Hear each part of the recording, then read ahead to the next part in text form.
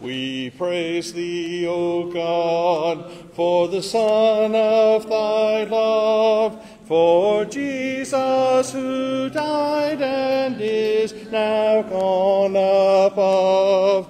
Alleluia, thine the glory.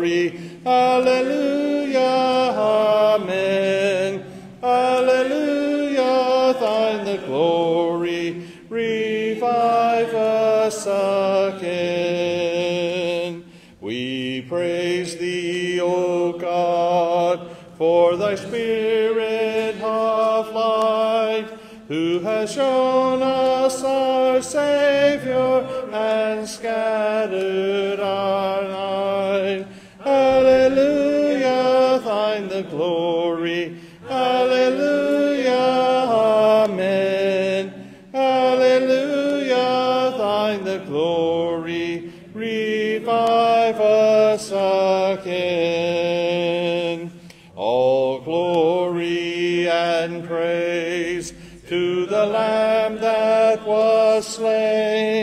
who has borne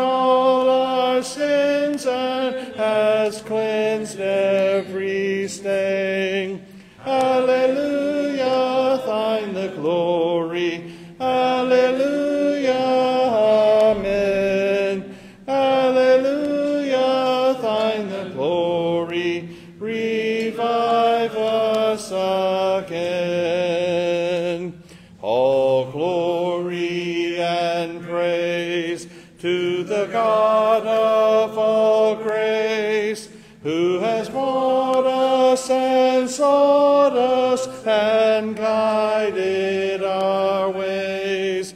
Alleluia, thine the glory. Alleluia, amen. Alleluia, thine the glory. Revive us again. Revive us again. Fill each heart with thy love.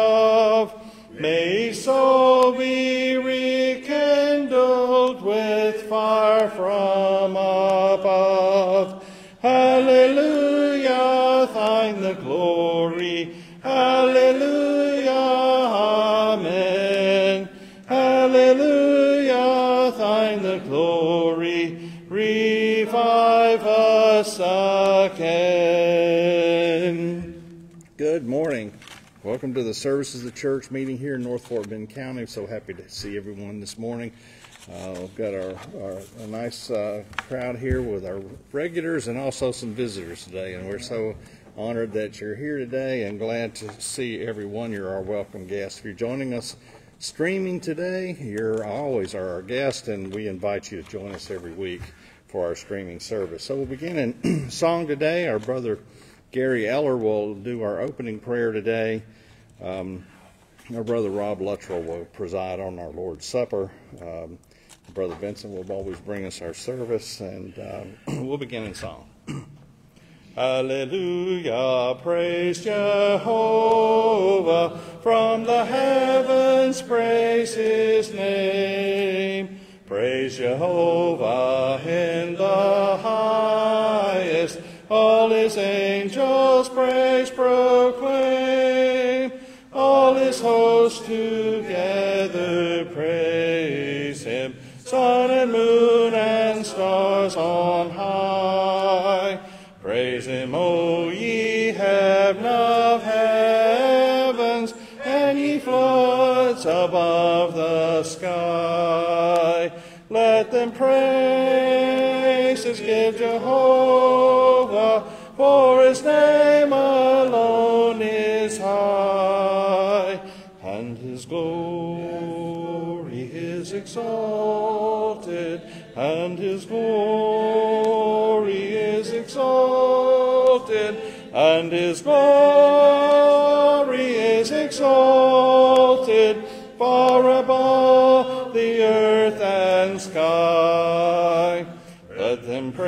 praises give Jehovah.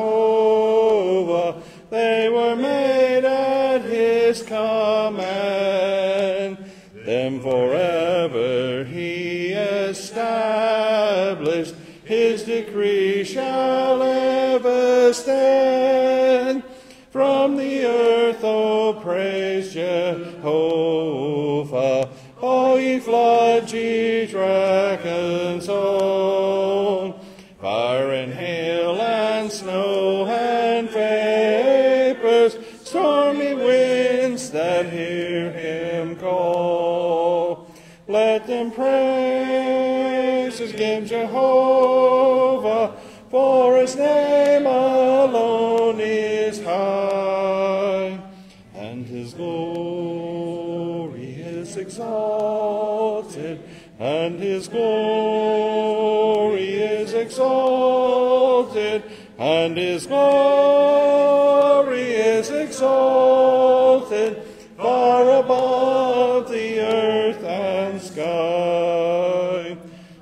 Ye fruitful trees and cedars, all ye hills and mountains high, creeping things and beasts and cattle, birds that in the heavens fly, kings of earth and all ye people, princes, greatest judges all.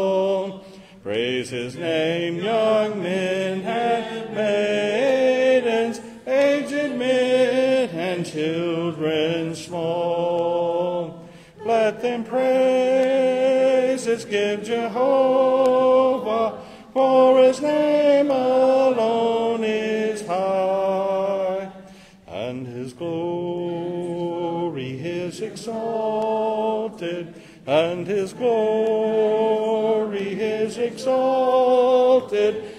and his glory is exalted far above the earth and sky.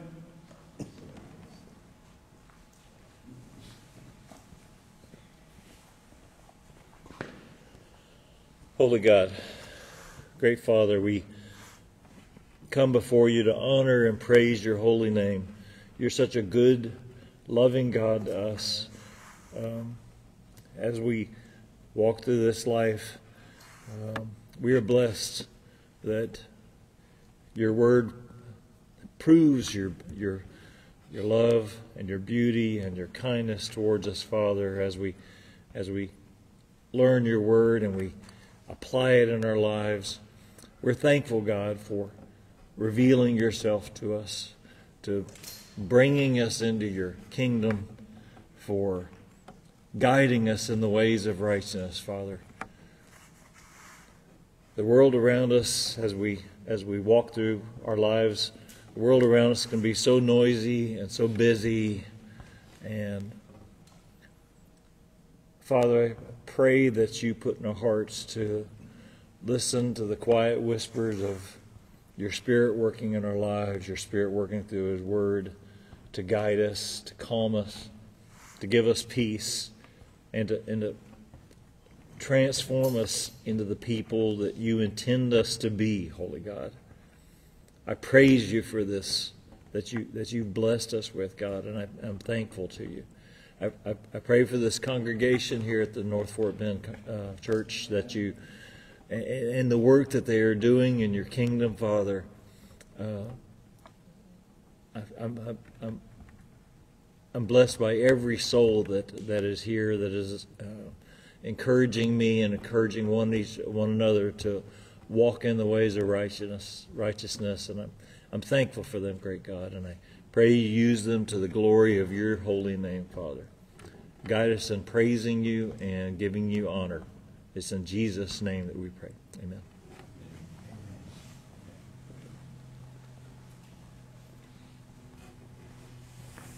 Song before our Lord's Supper. Why did my Savior come to earth and to the humble go? Why did he choose a lowly birth? Because he loved me so. He loved me so. He loved me so. He gave his precious life for me.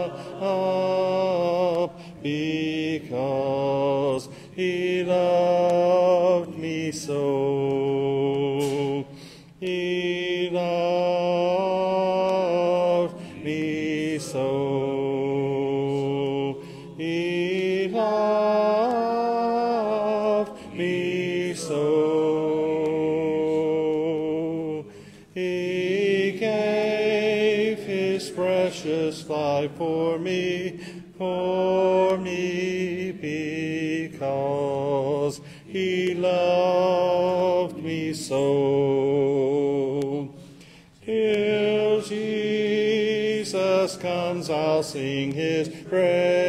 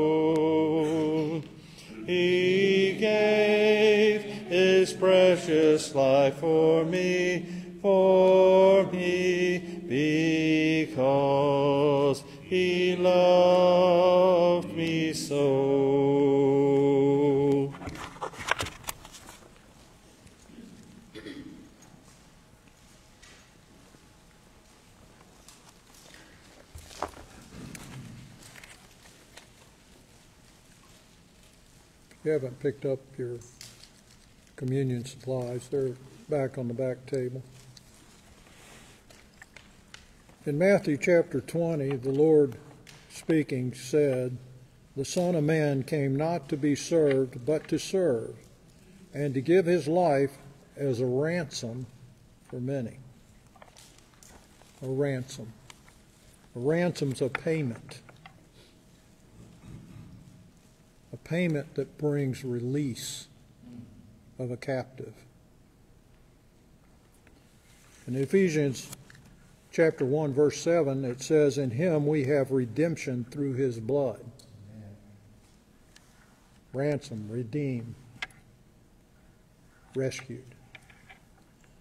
In 1 Peter chapter 1 verses 18 and 19 it says knowing that you were ransomed from the futile ways inherited from your forefathers, not with perishable things such as silver or gold, but with the precious blood of Christ. We indeed are ransomed, ransomed by a great price, the blood of Christ.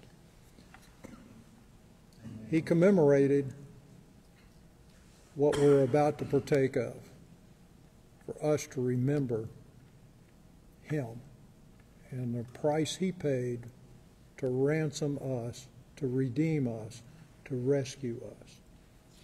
Let's pray for the bread. Dear God, we thank you for your Son, our Lord Jesus. We thank you that he was willing to leave your side in heaven, take the form of a man, and come to this earth and live as we do. We're mindful of that life. We're mindful of his teachings. We're mindful of his example. And especially, we're mindful in remembering his sacrifice, his death, his giving of himself upon a cross, a horrible death to ransom us, to buy us back, to save us. We remember that body. And we'd ask that you would bless this bread that commemorates that. And be with us as we partake of it, that we recall and remember all these things of our Lord. It's in His name that we pray. Amen.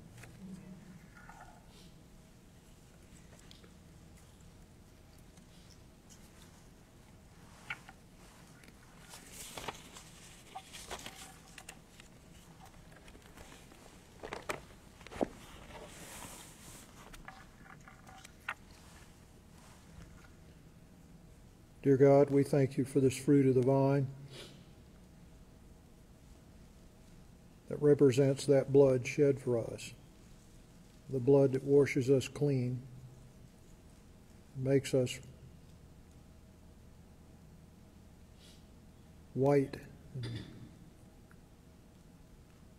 in your eyes, that we are washed clean, completely clean of our sins.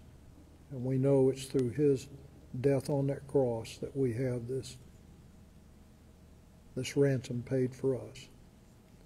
Bless this fruit of the vine as we partake of it. Bless us that partake. As we pray in your Son's name. Amen.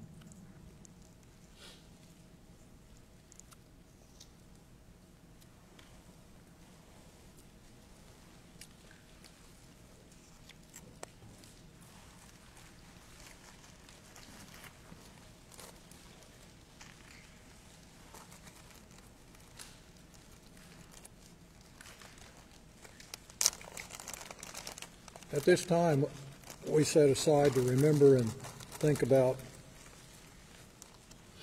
all the ways that God blesses us, and He does every day in many, many ways that we probably don't even think about or, or realize.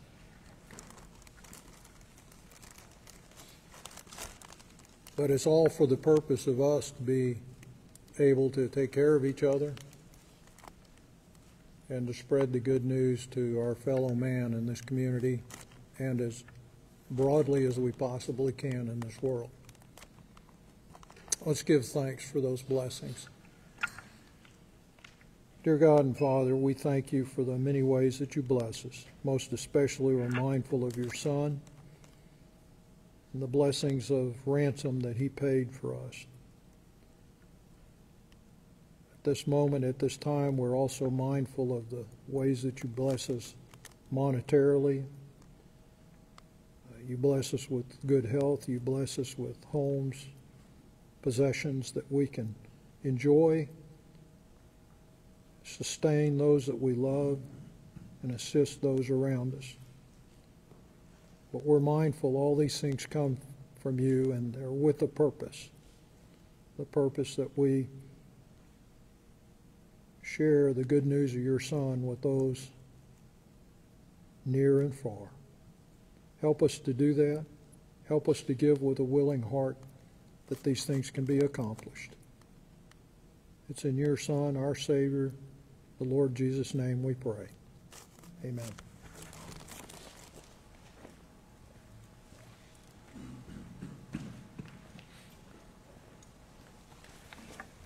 Our song before our lesson today. My hope is built on nothing less than Jesus' blood and righteousness. I dare not trust the sweetest frame, but wholly lean on Jesus' name. On Christ the solid rock I stand, all other ground is sinking sand. All other ground is sinking sand. When darkness veils his lovely face, I rest on his unchanging grace. In every high and stormy gale, my anchor holds within the veil. On Christ the solid rock I stand, all other ground is sinking sand. All other ground is sinking sun. When he shall come with trumpet sound, oh, may I then in him be found, dressed in his righteousness alone, faultless to stand before the throne. On Christ the solid rock I stand, all other ground is sinking sand. All other ground is sinking sand. Good morning, good morning. Good morning. We truly serve a good God. Peter said, 1 Peter chapter 3, verse number 12. He said, The eyes of the Lord are over the righteous, and his ears are open to their prayers. But the face of the Lord is against them that does evil. God is aware of everything that's going on everything that's going on in the world, everything that's going on in our lives. But he says his ears are open to their prayers. He wants to hear from us. He's waiting to hear from us. He wants to hear our prayers, our praise, our proclamations, how we proclaim his name in this world. Amen. I'm, I'm just thank God for today. I'm grateful today to see everybody visiting with us today. All you are visiting with us uh, by way of Facebook. We hope, trust, and pray that you can come and visit with us here in person today. You know, David said in Psalm, Psalm 27, verse number 4. He said, The one thing have I desire of the Lord, that will I seek after, is that I may dwell in the house of the Lord all the days of my life to behold the beauty of the Lord and to inquire in his temple. David wanted to be in the house of the Lord. I had to get to the point in my life where I wanted to come to worship, wanted to be here, wanted to praise God, not be dragged here, not be convinced, not be uh, um, uh, threatened to come to the Lord. I remember growing up, my mom, listen, y'all going to get dressed, y'all coming to the house of the Lord. But we get to a point in our life to where we want to be here. We want to come. We want to serve God. We want to praise God. Then he said, inquire in his temple that we want to know more and learn more about him.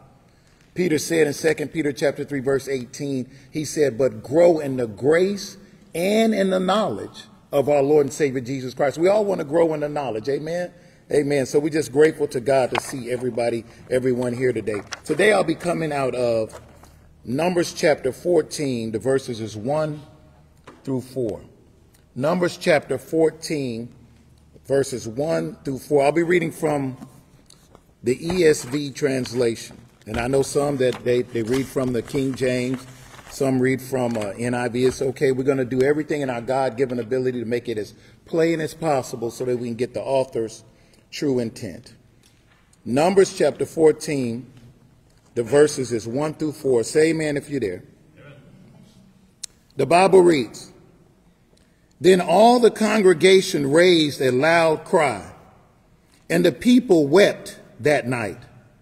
And all the people of Israel grumbled against Moses and Aaron. The whole congregation said to them, Would that we had died in the land of Egypt or would that we had died in this wilderness? Why is the Lord bringing us into this land to fall by the sword? Our wives, our little ones will become a prey. Would it not be better for us to go back to Egypt? And they said to one another, Let us choose a leader and go back to Egypt. I titled this message this morning, Decisions Under Distress decisions under distress. We'll all come to a point in our life that we'll have to make some major decisions under highly stressful situations. And we have to be careful how we make these decisions under these highly stressful situations because they can be detrimental to us or they can be beneficial to us. According to the, the Walden University in Minnesota, Walden University studies of clinical mental health counseling they said that people that have mental health challenges, if they're placed under highly stressful situations, they can make some terrible decisions. And I know mental health is a big issue in the world right now. People are dealing with mental health issues, and we need to do all we can to help. But the study goes on to say not only people who are dealing with mental health, the study goes on to say people who struggle with controlling their emotions when they're placed in some highly stressful situations, they can make some terrible decisions because they're not willing to control their emotions, get so emotional, so stressful, so frustrated, so aggravated with the situations, and they make some bad decisions. The Bible says in Proverbs chapter 14, verse 17, a man of quick temper acts foolishly.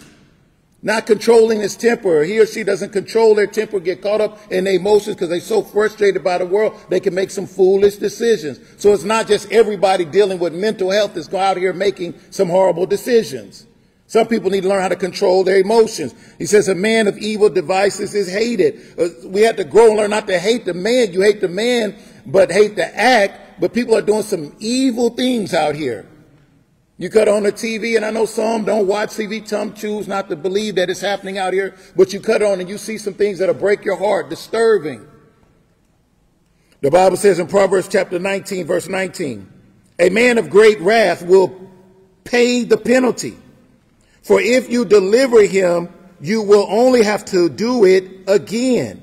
He said, listen, if he has a great rap, but he's not willing to control his temper, and he goes out and makes some bad decisions. Sometimes it's family members. Sometimes it's kids, our kids.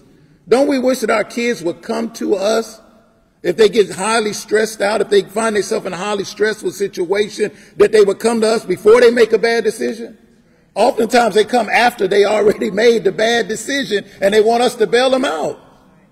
And then he said, listen, if they're not willing to control that, you have to do it again and again until they make up in their mind, I need to change the way I'm making these decisions because they're making them under this control, this impulse, self-control. And he said, you, you only have to do it again and again. God wants us to come to him before we make the bad decisions. In, he wants us come in the time of distress, in the time of trouble, when we're confused, when we're frustrated, come to him. The Bible says in Psalm 107, beginning at verse 19. Psalm 107, beginning verse 19, he said, Then they cried to the Lord in their trouble. We got to call while we're in the trouble, call to him. And he delivered them from their distress. He sent out his word and healed them and delivered them uh, from their distress. You know, God can send a word and change the situation. I can dwell on it. The Bible said they wept all night. It didn't say that they were praying all night. It said they wept all night and they woke up that morning grumbling and they came up with a bad decision to choose a leader that's going to tell them what they want to hear. They said, let us go back to Egypt. Let's choose a leader and go back. Okay, wait a minute. So that leader has to be on board with going back or you're not going to be the leader. Listen what it says in verse 21. Let them thank God for his steadfast love. Let, listen, let them thank the Lord. When you call on him in times of stress and trouble, and you call and he delivers you out, give him praise and thanks for his wonderful works, for his wondrous works to the children of man. When, when we look at this, I don't want to look at this, this, this Numbers 14, but when we look at this, I want us to think about how, how are we going to handle stressful situations. We can look at this and learn from them and see how will we do things differently. Because Jesus said we're going to be faced with some challenging times. We're all going to be faced with some difficult, highly stressful situations. In Matthew chapter 24, Jesus taught, they asked him, Lord, tell us when will be the sign of the end of the days. And remember, Jesus said that there'll be wars and rumors of wars. He said there'll kingdoms will rise up against kingdoms, nations will rise up against nations. He said there'll be famines in all the land. He said there'll be earthquakes in, in various places. But he said that's just the beginning. Listen what he said in verse 8, Matthew chapter 24, beginning of verse 8.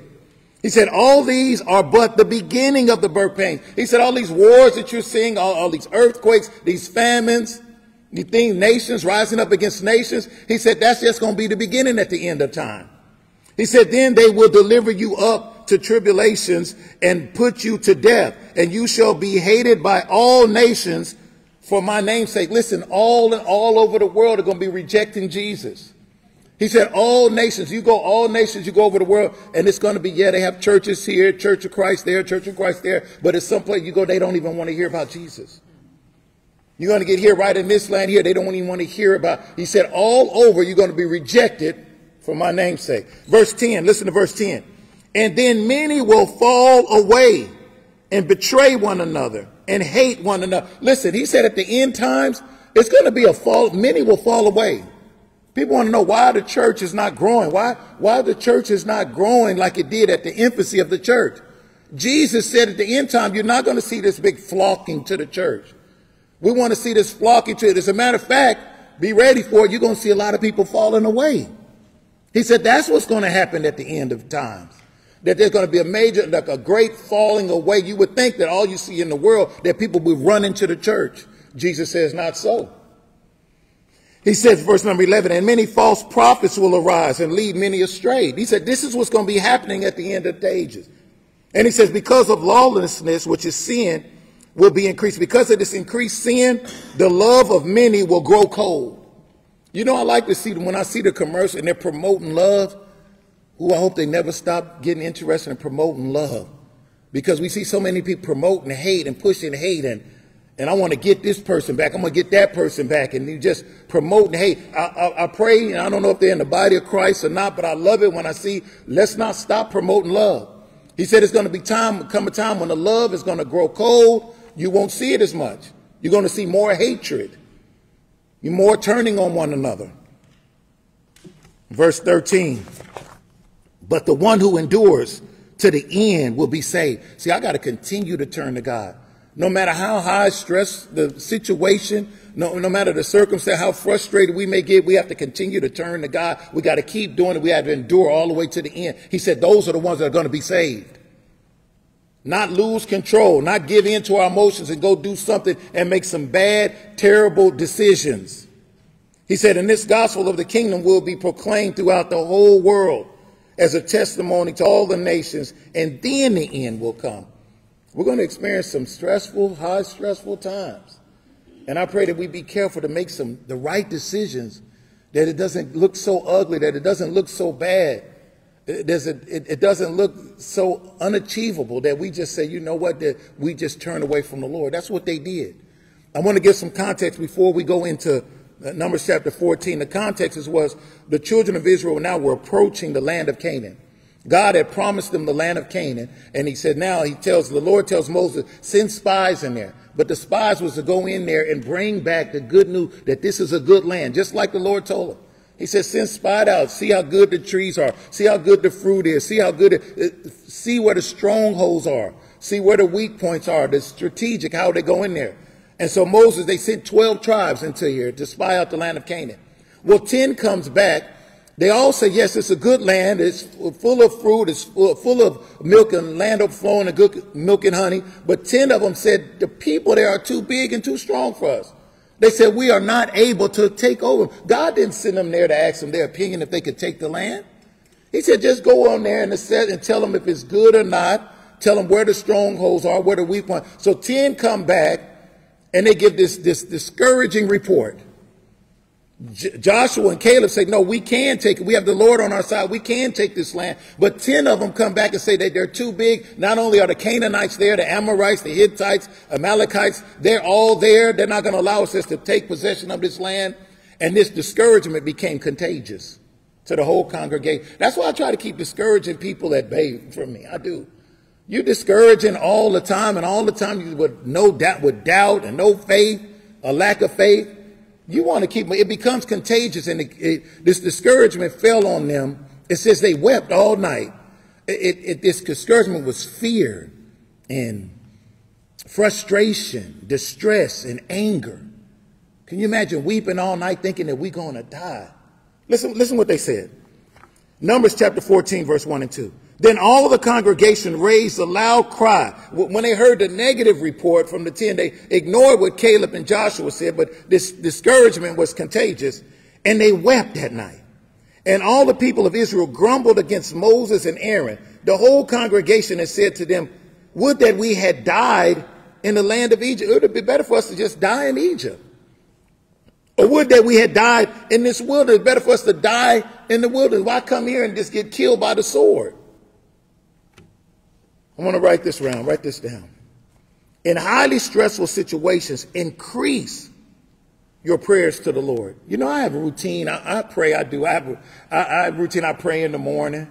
Uh, I pray when we get to the door. Sister you can tell we get to the door before we leave out the house. I pray a quick prayer, not a long prayer, just a quick prayer before we open the door and leave. Because this this world out here, I pray for the drive. I pray for it on the job. I pray for the people I may interact with, and we just say a quick little prayer. It's just a routine. But in times of highly stressful situations, we should break routine. We should, the prayer should intensify. The prayer should increase. Jesus, when he began his ministry, he was going around healing and, and preaching and teaching. And as the, the grumbling started getting more about them wanting to kill Jesus, about the one ready to take him uh, and just uh, destroy Jesus, the Bible says his prayers increased. Listen to this. Luke chapter 6, verse 12. In context of hearing this, it was coming down, they were saying now conspiring more ways how they could destroy Jesus. Listen what Luke says in Luke chapter 6, verse 12. He said, In these days, these days now when it's increasing, not his whole time, but in these days, he went out to the mountain to pray. And all night, he continued in prayer to God. It, it seemed like it increased, like his prayers increased. Isn't Jesus our example? I remember going to my sister's house last week and uh, visiting with my sister. We were sitting on the couch talking, and I heard a voice in the back room. I'm like, who is that back? And my sister said that it was her oldest daughter, Serena. And Serena, her oldest daughter, and she was in there praying. She said, oh, she does that at night sometimes. She, she prays, she go through some things, and she, and it just touched my heart so much. I said, leave her alone. Don't mess, don't mess with her. Leave her alone. The, the kids to pray.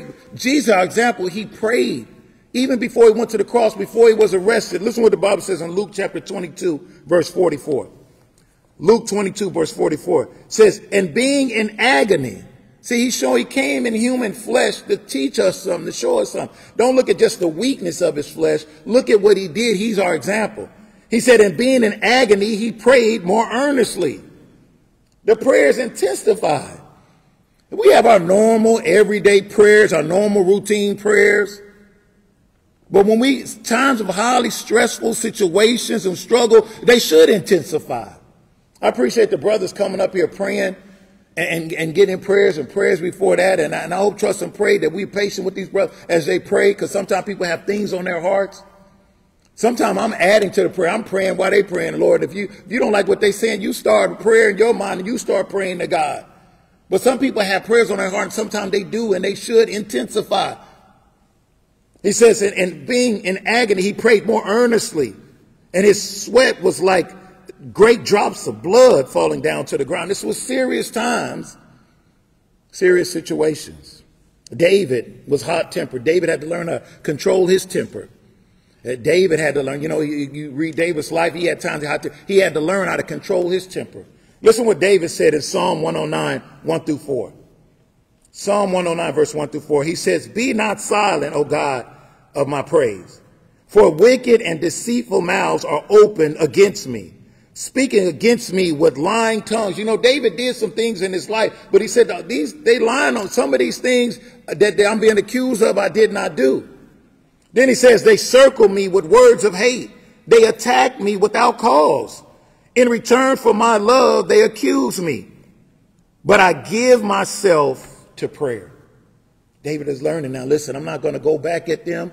Insults for insults. Go at, you know, he's standing in the right. He's saying they lying on me. He's standing right. I can go at them. But he says, I'm not going to give myself uh, to anger. I'm going to give myself to prayer. I hope we do that when we find times of highly stressful situations. We give ourselves to prayer. James said, James chapter 1, verse 19 and 20. Know this, my beloved brothers. Let everyone be quick to hear, slow to speak, slow to anger for the anger of man does not produce the righteousness of God. It, it's not going to produce that frustration that they had that turned into anger.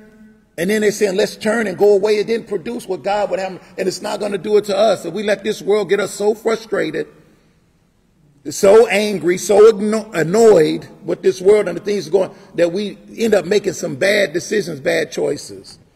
James said, James chapter 5, verse 13. Is anyone among you suffering? Let him pray. Is anyone cheerful? Let him sing praises. He said, if anyone among you is going through some things, let him pray. Prayer. And people say, well, they're tired of praying. I told, I don't know what to tell them. We need to increase the prayers. So this, it caused, this, this, this discouragement caused them to be fearful, caused them to be frustrated, caused them to be in distress and be angry and make some bad decisions but also calls them to question God. Listen to uh, Numbers 14, verse 3. Numbers 14, verse 3. Why is the Lord bringing us into this land to fall by the sword? This says that God is doing this. Our wives and our little ones will become prey. Would it not be better for us to go back to Egypt? He said, Why is God? Listen, they're questioning God. And you know, it's commendable to think about the wives and the little ones. I thought about this one. I, I watch the news, and I some know, some don't. I watch the news, and that people can't go to a parade without things being shot up and little ones dying. Don't we pray for the safety of our wives and our children? And our, we want our to be able to go out in the world and just be safe. That's commendable to go somewhere. Lord, I'm praying for that too. I hope we all praying for that. That we, people can go out and have and just be safe. But they cause or they question God. Why, why are you bringing us here to die like this? Like they don't understand that, that God is good. No matter what we may see, I have to settle in my mind. Come to the point that we settle in mind that God is good. I like to say it every time where I go somewhere, we serve a good God, not just here when I go to different places and speak. We serve a good God. We have to settle that in our minds. Write this down. We must never question the goodness, God's goodness. We must never question God's goodness, no matter what we see. Satan will try to get us to see some horrible things, some things that you can't even imagine, and it might make you question the goodness of God. We can't that we know all things are going to work together for good. Listen what the Bible says. Psalm 119, verse 67 and 68. Psalm 119, verse 67 and 68. He says, Before I was afflicted, I went astray, but now I keep your word. He says, I learned something. Before I, I was out there doing my own thing, having my own way, but he says then he came through some trouble, some trials, troubles, tribulation. Something happened. He went astray. But now he knows that God's way is the best way. Listen to verse 68.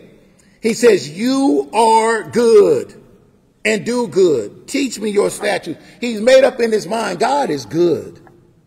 You know, we have to share this with people.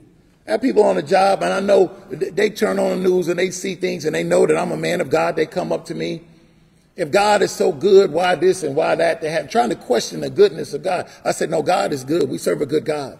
He's a God of all comfort.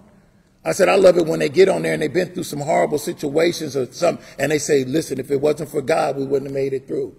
You may be looking at the bad part of it. I'm looking at, look at their faith, their devotion, and their love for God, even though they experienced something horrific. Even if it's death. I take them, if they come to me and they come on to talk about the goodness of God, I take them to Acts chapter 7 and I talk about Stephen. Stephen was being stoned to death. Stephen said, Lord, don't lay it to their charge. He said, Lord, forgive them. Don't, uh, can you imagine that? You being stoned to death and he's still glorifying God? His faith to God, his devotion to God, his love for God. I said it could be used to glorify. It's a horrible thing. I wouldn't wish it on anybody, but God is still good. Settled in our mind that God is good. Romans 8 and 28 says, And we know that for those who love God, all things work together for good. For those who are called according to his purpose. We know that God, this is what we say we know. It doesn't matter what's going on. They can show me anything on the news. We serve a good God. I know he's going to get some glory out of his purpose is going to be for, even if those glorify God while they're in the midst of those trials and troubles. God never sent the spies out to ask them if they could take the land. Listen what the Bible says in Numbers chapter 13, verse 1 and 2. Numbers 13, verse 1 and 2. The Lord spoke to Moses, saying, Send men to spy out the land of Canaan, which I am giving to the people of Israel. He, he didn't send them in there to spy it out to see if they could take it. He said, I'm giving this land to you. The purpose of them going in there wasn't to bring back a report to see if they could take it. They never should have said that.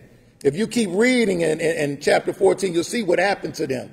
But they never should have said that because see, that wasn't what he told them to do. Just go back and talk about, is it good land? Is it good trees? Is it good fruit? Tell what the strongholds are. Tell what the weak parts are.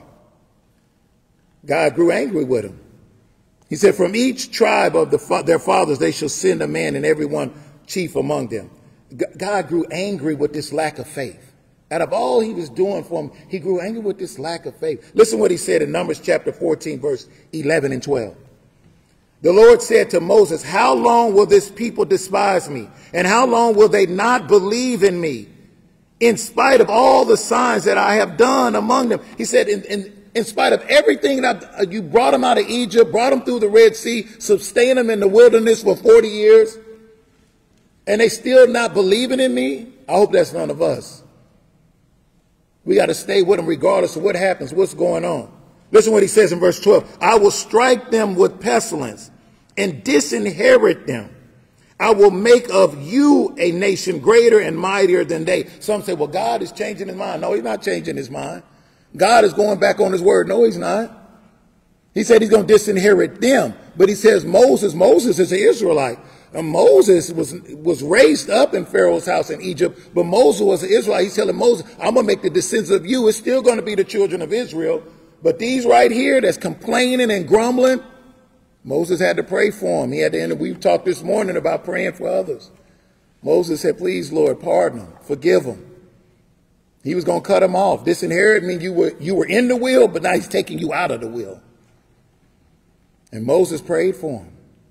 And God forgave him. He pardoned. Listen what the Bible says in Numbers chapter 14, verse 19 and 20. Numbers 14, 19 and 20.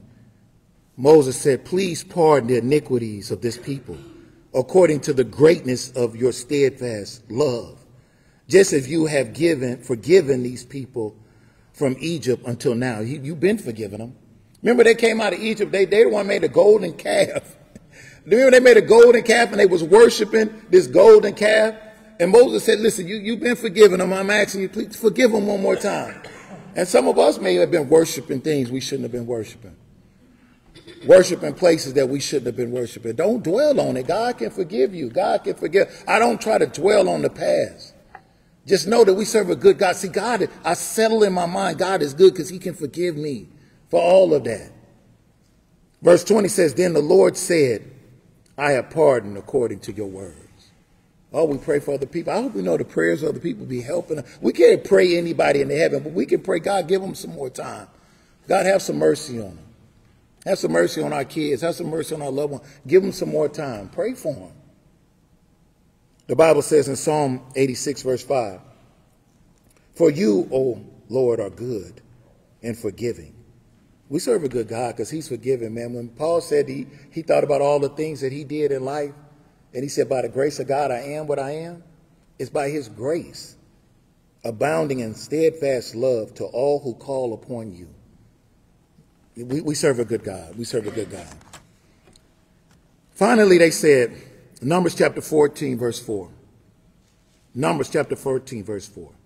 Out of this frustration, out of this distress, out of this anger, they made a terrible decision. They decided they, they didn't get a chance to carry it through. They didn't carry it through and go through. Amen. Somebody, thank God. Sometimes some, some bad decisions pop up in our minds, truth be told.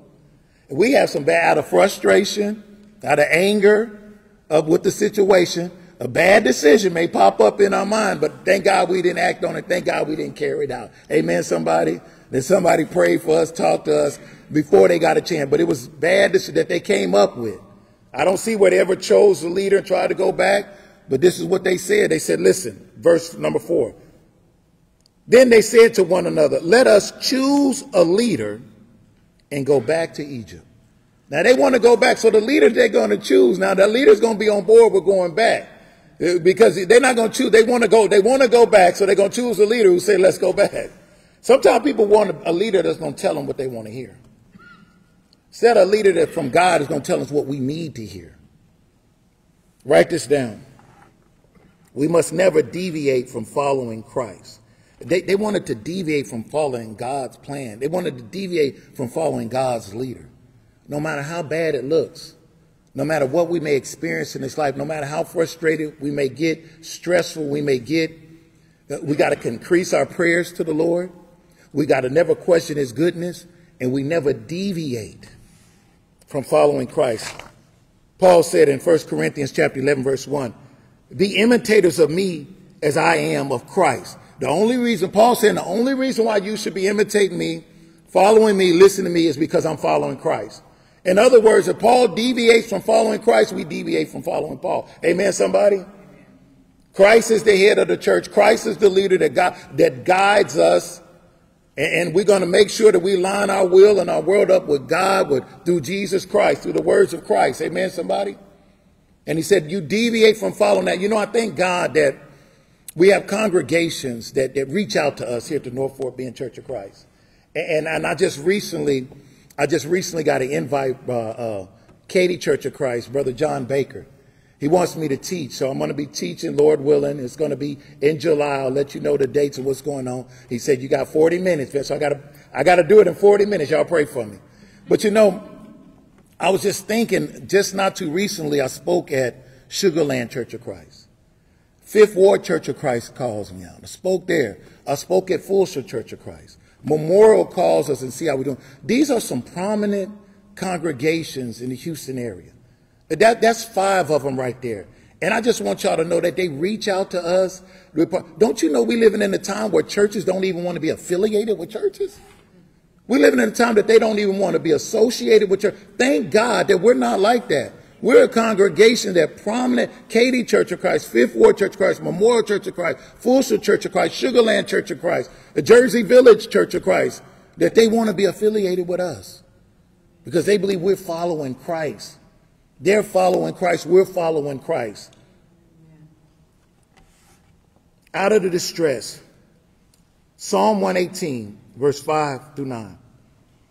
Psalm 118, verse 5 through 9. Out of my distress, I called on the Lord. I hope when we find these stressful times, these situations, and they're overwhelming, can be overwhelming, that we don't turn from the Lord. We don't question God's goodness. We turn to the Lord. He said, Out of my distress, I called on the Lord, and the Lord answered me and set me free. The Lord is on my side.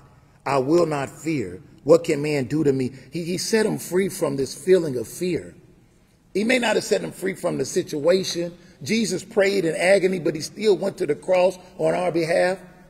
He still went to the cross for you and I, but the angels came and strengthened him. Sometimes we pray in these stressful times, in these situations, he can give us the strength to endure to the end. He may not bring you out of it, but pray while you in it. He can set you free from the fear and the frustration and the distress of the matter. He said, The Lord is on my side, verse 7. As my helper, I shall look in triumph over those who hate me. Verse 8, he said, It is better to take refuge in the Lord than to trust in man. They were turning from the Lord and said, Let's get us a leader to take us back. Turning from the Lord. He said it's better to take refuge in the Lord than to trust in princes. Now, these are powerful men. You have some powerful men with great influence, great wealth. He said it's still better to trust in the Lord. Don't leave the Lord. In closing, I thought about Matthew chapter 17. In Matthew chapter 17 is when there's transfiguration on the mountain of transfiguration, and, and is how it's described. But it's God showing that He wants us to focus on Jesus, fix our eyes on Jesus, that, keep Jesus the center of our life. I, I just want to read this real quick Matthew chapter 17, verse 1 through 8. After six days, Jesus took with him Peter and James and John, his brother, and led them up a high mountain by, by themselves. And he was transfigured before them.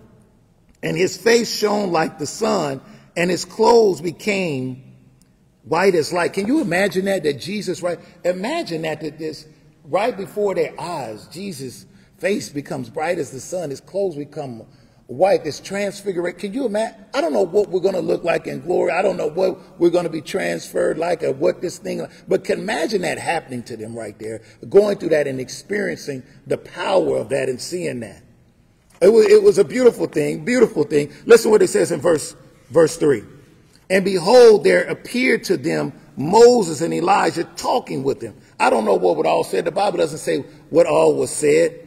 And Peter said, verse 4, and Peter said to Jesus, Lord, is this good? It is good that we are here. If you wish, I will make three tents here, one for you and one for Moses and one for Elijah. He said, listen, let me build three tents here on this mountain so that we have one for you, one for Moses, one for Elijah. But God opened up his mouth and he spoke. God wants us to focus on Jesus. We don't diminish Moses, don't diminish Elijah. They had their place in history, the prophets of God. But he said, now I want you to focus on Jesus. Listen what happens in verse number five. He was still speaking when behold, a bright cloud overshadowed them. And the voice from the cloud said, This is my beloved son, with whom I am well pleased. Listen to him. We got to stop listening to people. They grumbling, they complaining, and they saying, let's turn back, let's go back. God is not good. Questioning the goodness of God. Questioning what well, the decision making going forward. We got to stop listening to all these people and listen to Jesus. Verse 6, he says, When his disciples heard this, they fell on their faces and were terrified. But Jesus came and touched them and said, Arise and have no fear. And when they lifted up their eyes, they saw no one but Jesus only. I wanted to do a sermon on Jesus only. If we can just move everybody out, get everybody out, and Jesus only. I'm going to follow Jesus only. I'm going to go by his word only. It doesn't matter how stressful the time, how much frustration eh, that, that we just see that it, it looks bad. Some situations look bad, but we're going to make up our mind. God is good. We serve a good God. We're going to pray in stressful times and we're going to stay, we're not deviating. They were wrong, so let's choose a leader and go back. No, we stand with the people of God and we stand with God no matter how it may look.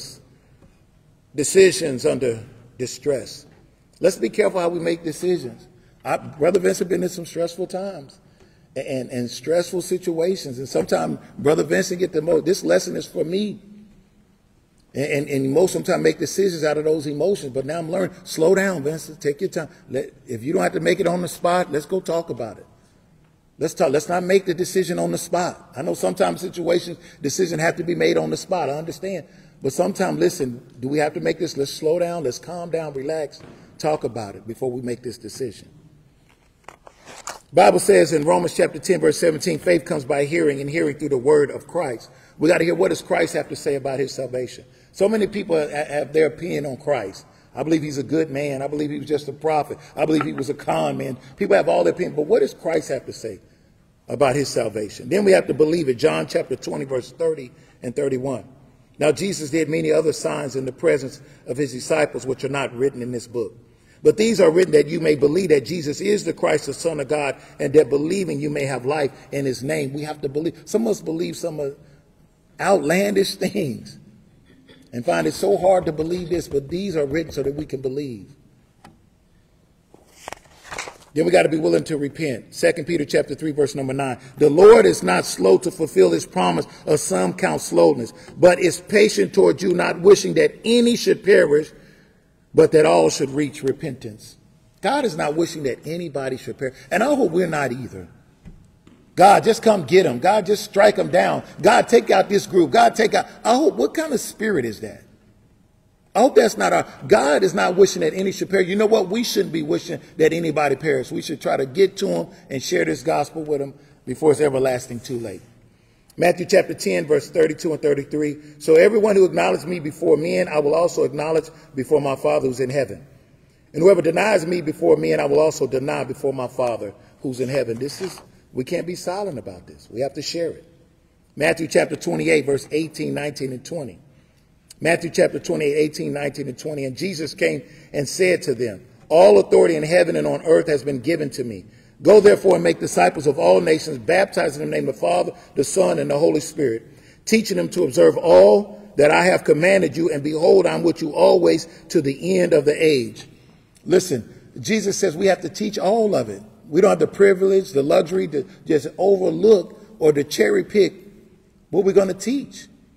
He said, These are the marching orders. These are the marching orders for the church to go baptize all nations and to teach them to observe all that I've commanded you.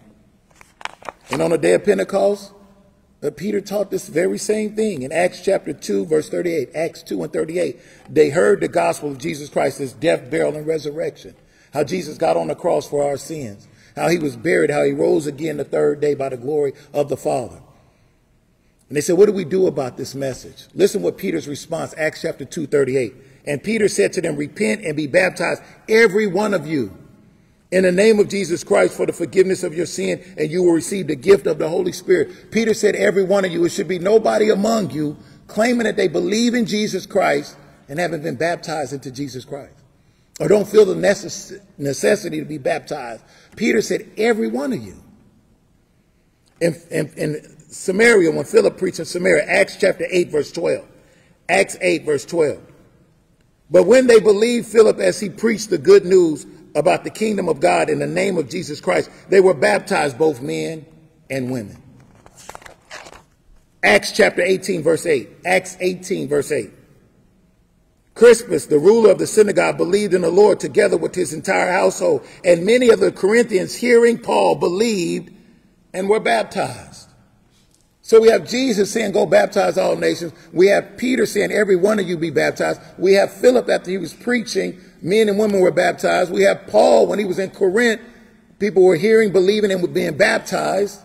Why would we teach it any other way? We want to make sure that we're following the leaders that God has set before us. Revelation chapter 2 and 10. Do not fear what you're about to suffer. Behold, the devil is about to throw some of you into prison that you may be tested. And for 10 days you will have tribulation. But be faithful unto death, and I will give you the crown of life. This is about loyalty. We're going to go through some things in this life.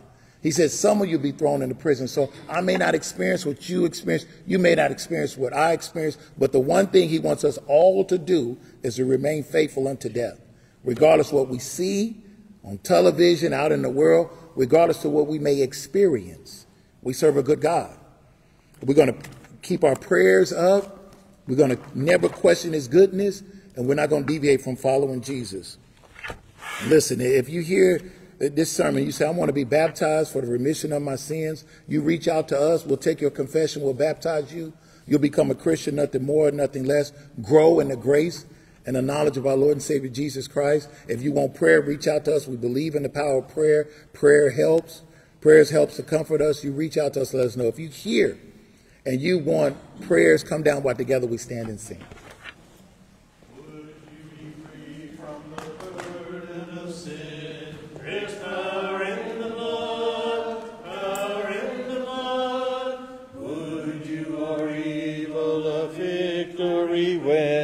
There's wonderful power in the blood. There is power, wonder working power in the blood of the Lamb. There is power, power, wonder working power in the precious blood of the Lamb. Would you do service for Jesus your King? There's power in the blood, power in the blood.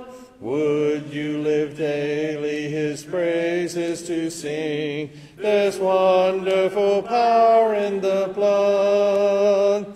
There is power, power, wonder working power in the blood of the Lamb.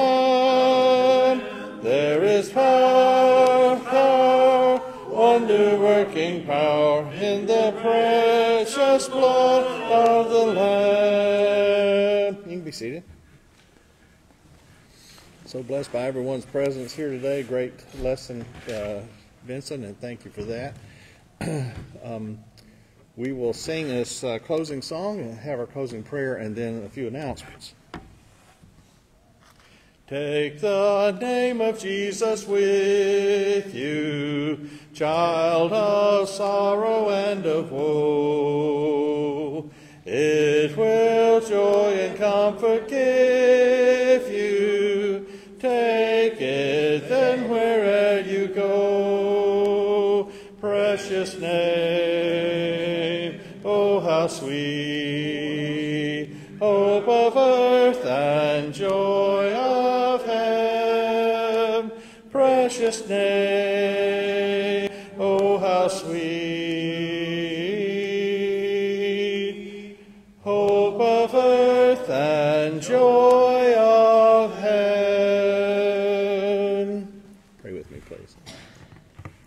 Father, for this time of worship, Father, we're so thankful.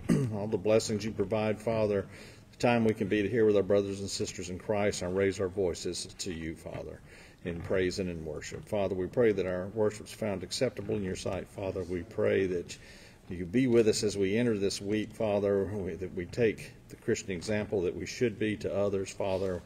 We teach others and we can bring them to Christ. Father, be with us and guide us through the week and keep us safe. In Jesus' holy name we pray. Amen.